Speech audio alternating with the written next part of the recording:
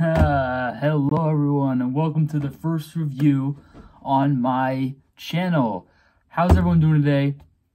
I'm doing great. I'm excited to get this started. And today we have with us the first set I'll be reviewing. We have set 75320, the Snowtrooper Battle Pack. So, thoughts uh, on just the box art? I love it. I like how we got the little Darth Vader here on the side too. Also like the black printing and the little Lego brick on the side. Looks really good. Showcases all the figures on the front. And then we go to the back. And then you get to see all the extra stuff too. You got behind the little snowbank here.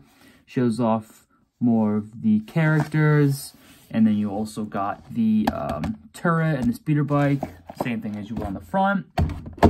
So this set in the US is retailing for about $20. So tad bit extra than what we're used to with battle packs, which really kind of sucks because they used to be about $15, but they decided, you know what, we're just going to bump up the price because Lego likes to do that. So, uh, um, a tad bit unfortunate because this should really be more $15, but it's okay. But, you know, Lego Star Wars has started to do the uh, minifigure packs, which are now $15, and those ones you get three characters. Um, and of course, we got the Attack of the Clones uh, minifigure pack, and then we also got the Hoth um, Rebel pack, which I would strongly recommend that um, you pick up a Hoth minifigure pack because it would go really well with this. It really complements it nicely. So, um, without furthermore, uh, let's dive into it. So we get a total of four minifigures in this set, and three of which are snowtroopers. And we'll take a look quickly at the figures here. They have um, really nice uh, torso and leg printing.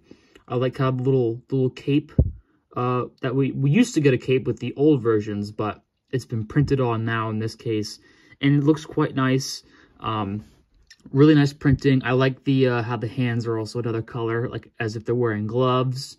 And then we also get do get some nice back printing with the belt and the armor piece, and then the little glowing red lights on the back. And um, these figures uh, each do come with uh, different uh, head molds. And um, this one, I believe, hold on, come, ooh, just dropped him. Each of them come with different head molds. So we have a nice head mold here on this figure. And I like how they're kind of doing uh, different like ethnicities and races as um, as Stormtrooper characters, really showing how diverse the Empire was. Um, but yeah, this is the first one. And he also has the um, the regular blaster as well. And here we have the exact same Snowtrooper model, just has a different face print as well. And the last Snowtrooper has a bit of a bigger blaster. I, I know that there's a name for this blaster. I can't remember. If you know what it is, leave it in the comments section. I will remember. I think it's a DC something. I can't remember. And then this figure also does come with a different face print as well. Which I don't think I've ever seen um, this face. Oh, he just, he died. um, but I don't think I've ever seen this face print on a, uh, a clone character or a, um, a snowtrooper before. So it looked like it's new to me, but I can definitely see Lego reusing that a lot for this guy.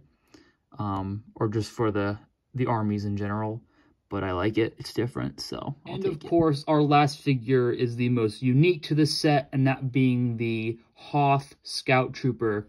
Now, this one is cool because um, the this is a new variant, and um, instead of the Endor Troopers, who who usually are uh, have the black arms and the black um, body printing, have been switched out for gray uh, arms instead. So that's quite literally the only difference between the two. Um, and the helmets look amazing. So if you've been wanting to get Scout Troopers um, in a cheap set, this is going to be how you do it. Um, sadly, I believe that there are only two other sets where you can get the normal Scout Trooper, and those are in the Razor Crest set, and I believe the Lego Advent Calendar that came out um, this past year. So sadly, there's no way to get those um, black ones um, for cheap unless you buy them off of eBay or off of a uh, a Lego dealer that you happen to know. Um, but they have, I really like this helmet mold, um, and the body printing is amazing. And of course, they come with a small little uh, hand blaster. Um, again, don't know the name of that blaster. If you know that, leave it in the comment section. And they also have back printing, and I love not only that, but if you look at the helmet, it even has printing on the helmet, which I like. And then the um, little uh, tube on the back is really cool. And then this one as well um, comes with its own unique face printing there. So that's pretty sweet. Um, Getting into the builds of this set now, we have the first thing, which I'm going to say I've liked the most probably out of all the builds, and that is the speeder bike. Um, I really like this build. I think it's really compact, which I like about Star Wars um, speeders.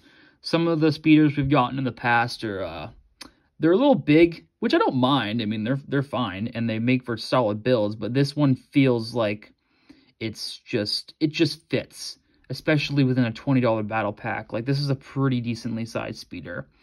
And I feel like you can have a lot more fun with this because it is minifig scale, I feel.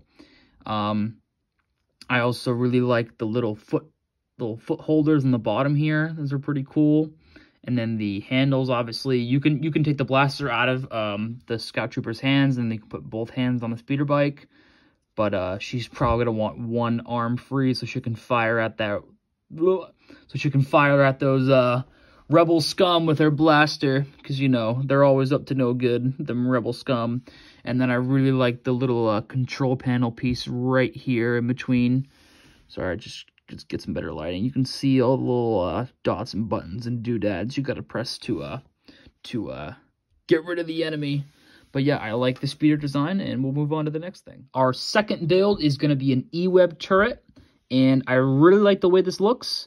Um, it's really cool. I like how uh, the bottom pieces here are little blasters, which if you don't recognize where these uh, came from, uh, there was a Lego line that came out a couple years ago, or it's almost been a decade now, I think at this point, called, it was like Lego Alien Invasion, and there were these, uh, these characters called ACU, which stand for Alien Containment Unit, and they had these little blasters right here. If you guys remember what I'm talking about, then leave a comment, because I definitely bought a couple of those sets, and those are, those are really fun. Um, and then obviously, the way it works you press down this button and a stud shoots out. I will demonstrate which is actually kind of funny because uh, I, I saw how this worked and I didn't realize how much power this had. So you just press down and it worked. no, I'm kidding. But um, I did it a second ago and it worked quite well. But um, you get the idea. You shoot the stud and then hit knocks the figure over and then they're they're unalived, I guess we'll call them. But yeah, it's a it's a cool uh it's cool uh e-web and I like its design. And our last build that we have here is we have this little um, little barrier made of snow, so that way you can like fit your figures behind it, and they can like have some cover while they're firing at the enemy. And actually, no, even though like, you know, it's it's not the most interesting thing, I still do quite like it. And um, even though it's it's just a landscape piece, I actually like it a lot. And um, if you turn it around, there's a pair of binoculars right here. You can put in your your character's hands. And I also like it too. You can and you have a place for a cover, so you can put your characters behind. So like he can stay here and uh, fire at the enemy, sneak behind, and sit there. You can put probably two snowtroopers behind there too if you really wanted to. But um, nothing a whole lot going on with that. I think it would be cool if you bought three of these sets and then you put a bunch of these uh, barriers side by side. I think that would be really cool because you could turn it into something super big or you could custom uh, make it and turn it into something all on your own. But uh, yeah, so now we're going to go to my overall thoughts. So, um, let's talk about it. So, I think this is a great set. Um, at the $20 price point, though, I do feel like it is a tad bit unnecessary. I still feel like it should have been 15 Uh, but you know Lego, they always like to to make you pay more than what it's worth. But um, $20 isn't that bad. As far as collectability, I'm definitely going to grab me another one of these. This is a pretty cool set. Um, and as far as uh, playability, there's a lot of playability here. You get your speeder, you get your E-Web, you got your little cover thing behind here. And you're getting three snowtroopers in a battle pack, which is pretty cool. And then you're getting one Hoth um, scout trooper, which is pretty solid. Uh, sets that this will really pair well with. This will pair well with the um, Hoth uh, ATST that just came out, which I'm going to do a review of that in my next video, which stay tuned, that will be coming up soon.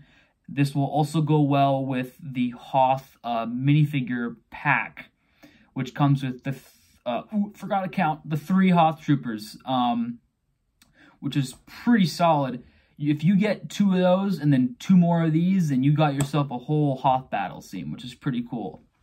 And then if you really, really wanted to, um, you could get the uh, UCS uh, AT-AT for $500, but I don't really think that's going to be in most people's price points. So if um, you really wanted to fill up that AT-AT, because I believe it has like, I think it's like 40 plus seats, you're gonna you can get as many of these battle packs. I'm probably thinking is gonna be like 24. So and you could fill up that UCS AT-AT uh, if you wanted to.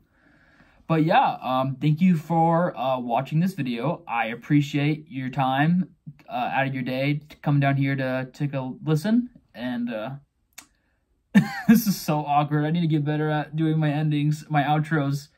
But um, thank you for uh, watching GP Reviews, and you guys have a wonderful evening.